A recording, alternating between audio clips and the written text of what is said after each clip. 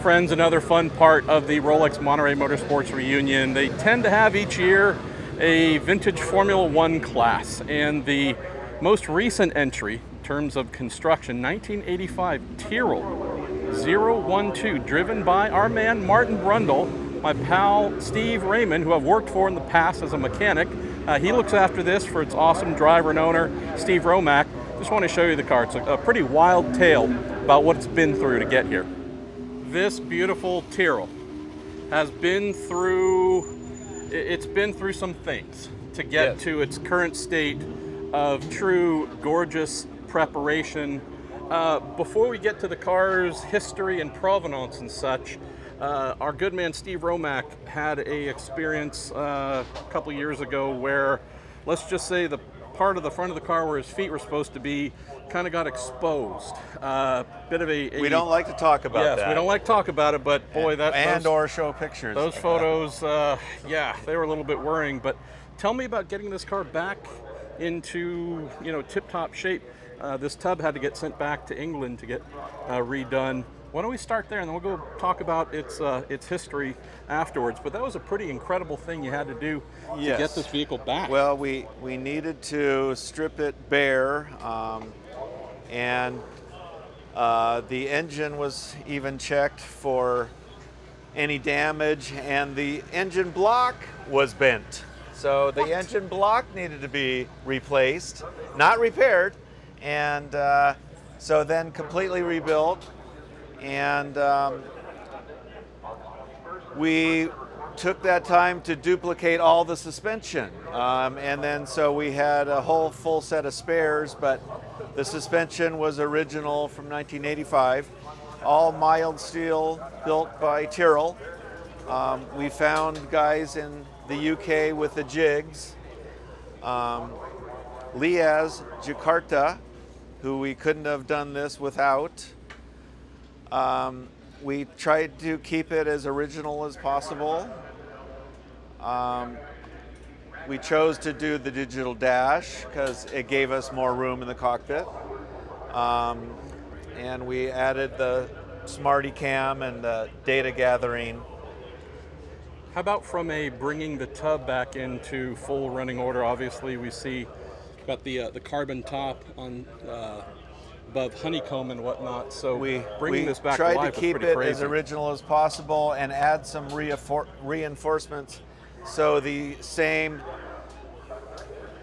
cas- catastrophe would not happen again. So um, the the tub has been strengthened, um, and uh, we have not raced the car since. It's only done test days. This will be its first race, and then we will be racing at COTA in October with Formula One, with Masters. Let's talk about the pull rod front suspension, Steve. It's That is got- just it is wacky. It's not a traditional pull rod This pulling is on a Tyrrell's rocker. idea, and it pulls on the bottom of the shock. The, sh- the bottom of the shock travels up and down. Not the pull rod does not activate a rocker. It actually is up and down in a cylinder. Basically, the shock drops Uh, Yeah. into and has rollers uh, that pull up and down, which I had thought I knew a lot about Front- Formula One suspension. Front and rear.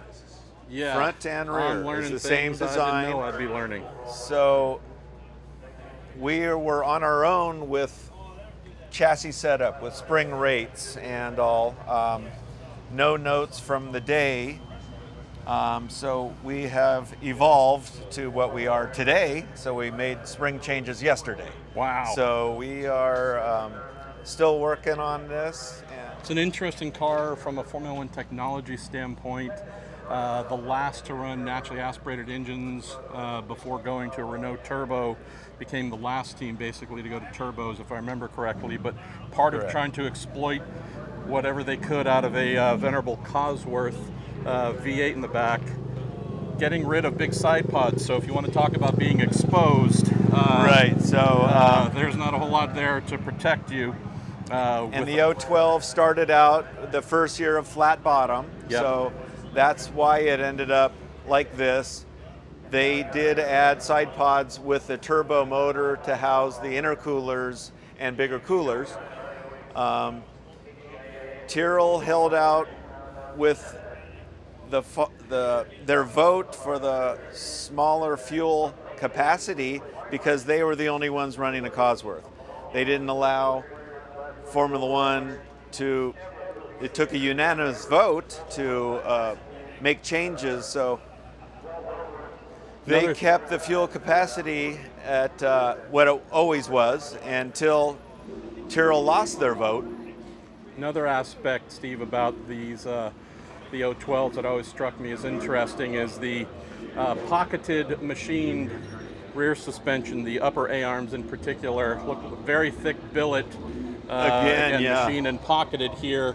I don't know if we'd call that the most aerodynamic setup uh, No, in yeah. suspension design, but it was something that Tyrrell was fond of doing. Inboard brakes as well Correct. somewhat yeah. unique at that rotating mass from the outside, the unsprung weight, get that to the inside here. Uh, wheels and whatnot spin a little more freely and such. You can see the pull rod design, as you mentioned, sitting basically encased in a uh, shaft to be pulled up and down there. Very, very unique for the era. But look at this thing.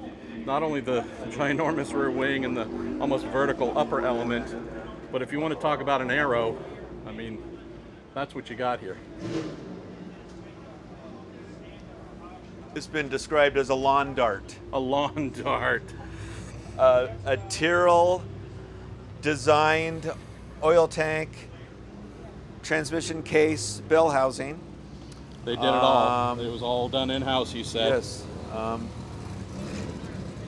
bespoked diff, axles, brake hats. Um, all this was unique just to this car.